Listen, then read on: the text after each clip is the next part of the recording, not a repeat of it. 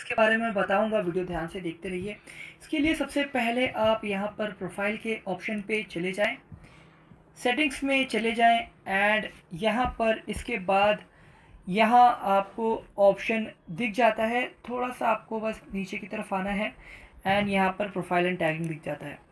सबसे पहले view viewing and sharing who can post on your profile आपके profile पे कौन कौन पोस्ट कर सकता है? फ्रेंड्स या ओनली मी आप अपनी मर्ज़ी से यहाँ पर क्लिक कर सकते हैं।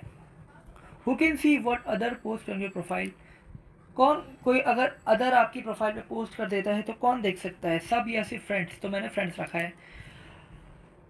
Allow others to share your post to their story आपके पोस्ट क्या दूसरे लोग अपनी स्टोरी में शेयर कर सकते हैं? तो आप ऑन या ऑफ़ कर सकते हैं।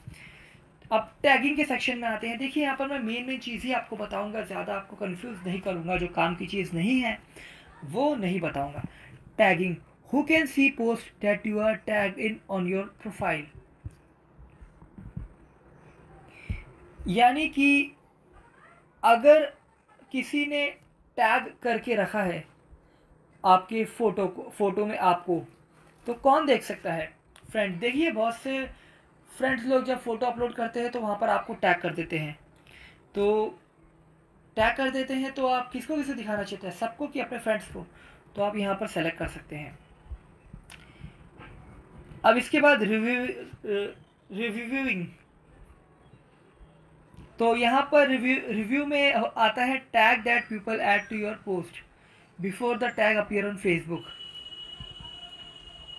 तो पहले आप रिव्यू कर लें यानी कि जो भी टैग है, जिसने भी टैग करा है, पहले आप रिव्यू कर लें, आपको एक नोटिफिकेशन आएगा, उसके बाद आप अप्रूव करेंगे तो ही आप उस फ़ोटो में टैग होंगे अदरवाइज़ आप टैग नहीं होंगे। ठीक है, पहले रिव्यू करने का ऑप्शन आएगा। And review what other people see on your profile इस पर क्लिक करें। आप रिव्यू कर सकते हैं कि जब भी कोई आपकी प्रोफ़ाइल में आता है तो उसे क्या क्या नज़र आता है। आप यहाँ पर देख के उसे हटा सकते हैं या फिर पब्लिक से यहाँ पर फ्रेंड कर सकते हैं, हटा सकते हैं, ठीक है एडिट करके। इसके बाद review post that you tag in before the post appear in your profile जो भी पोस्ट आपकी प्रोफ़ाइल में आता है तो आप पहले उसे रिव्यू करें, उसके बाद ही उसे अप्रूव करें। उम्मीद करता हूँ आप समझिए हमें थोड़ा सा डिफ़िकल्ट